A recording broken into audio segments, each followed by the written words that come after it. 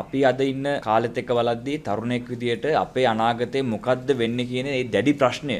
කලකිරීමකින් ප්‍රශ්න සාගතව ජීවත් වෙන විගත්තම අපි මේ ඉන්නේ. ඒත් එක්කම මේ පීඩනය හරහා අද අරගලයක් ලංකාවේ බිහි වෙලා තියෙනවා තරුණයන් මූලික වෙලා. මේ අරගලයෙන් තමයි මේ රටේ තුනෙන් දෙකේ බලයක් ගත්ත ආණ්ඩුව හෙල්ලුවේ. මේ අරගලයෙන් තමයි අපේ පොදු නීතිය, අපේ ව්‍යවස්ථාව වෙනස් කරලා මේ රටේ මුදල් ඇමතිකම ගත්ත බැසිල් රාජපක්ෂ අද එළියට දාලා තියෙන්නේ. ඒ ඇමතිකමෙන් විසි වෙලා තියෙන්නේ මේ අරගලයේ හින්දා. මේ අරගලයේ පාර්ලිමේන්තුව ඇතුළු වුණ අරගලයක් නෙමෙයි. මේ අරගලයේ භූමියේ තරුණයෝ තරුණයෝ එකතු වෙලා මහජනතාවගේ පීඩනය පිටකරු අවස්ථාවක් තමයි මේ අරගලය කියන්නේ. අද ගෝල් ෆේස් අරගලය දින 42ක් වෙනවා. මේ අරගලය ගෝල් ෆේස් විතරක් නෙමෙයි අරගලය ලංකා පුරාම තියෙනවා. අරගලය තරුණයන්ගේ හිතේ තියෙනවා. මේ අරගලය වෙනුවෙන් මේ රටේ තරුණයන් ඉදිරියටත් පෙළ ගැහෙනවා කියන එක මම මේ අවස්ථාවේ මතක් කරන්න කැමතියි. හැබැයි කනගාටුදායක සිදුවීමක් තියෙනවා. අපි මේ අරගලයෙන් මේ මේ අරගලයෙන් සමාජයේ ඇති කරපු වෙනස පිළි අරගෙන පාර්ලිමේන්තුවේ දේශපාලන පිළිතුරක් උත්තරයක් විසඳුමක් දෙන්න මේ පාර්ලිමේන්තුවේ විපක්ෂ නායකයා ප්‍රමුඛ මේ විපක්ෂයටත් අද අවස්ථාවක් ලැබිලා නැහැ. අන්න ඒ කලකිරීම අපිට තරුණ විදියට අද තියෙනවා. අද පාර්ලිමේන්තුවේ කතා හද්දී අපිට අහන්න පුළුවන් 9 වෙනිදා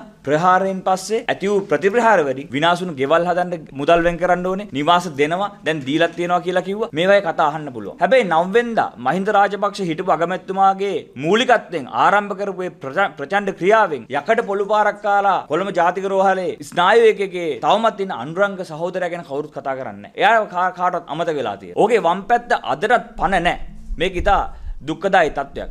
ඒ වගේම ඒ දවසේ ගුටිකාපු යකට පොළොවලින් ගුටිකාපු කොල්ල කොල්ල කී දෙනෙක් ඔලු පලාගෙන අදටත් මේ අරගලය කරගෙන යනවද? මේ ගැන කවුරුත් අද කතා කරන්නේ ඒ නිසා තරුණයාගේ අද තියෙනවා මේ පාර්ලිමේන්තුවේ ඇතුලේ සියලුම අය නෙමේ පාර්ලිමේන්තුවේ ඇතුලේ වගකීමක් ගන්න පුළුවන් සමහර දේශපාලඥයොත් මේ අරගලේ තරුණයා වෙනුවෙන් පෙනී හිටීමක් කරන්නේ මේක දැඩි කලකිරීමක් මේ තරුණ ප්‍රජාව අතරේ මේ පාර්ලිමේන්තුව කරේ මේ හේතුවෙන් බිහි වෙලා තියෙනවා. ඒ නිසා මම හිතන්නේ අපිට අවශ්‍යයි සමානාත්වයේ තියෙන යුක්තිසහගත උසස් දේශපාලන තත්ත්වයක් මේ රටේ බිහි කරන්න මේ තරුණ අරගලයේ අරමුණ ඒක තමයි.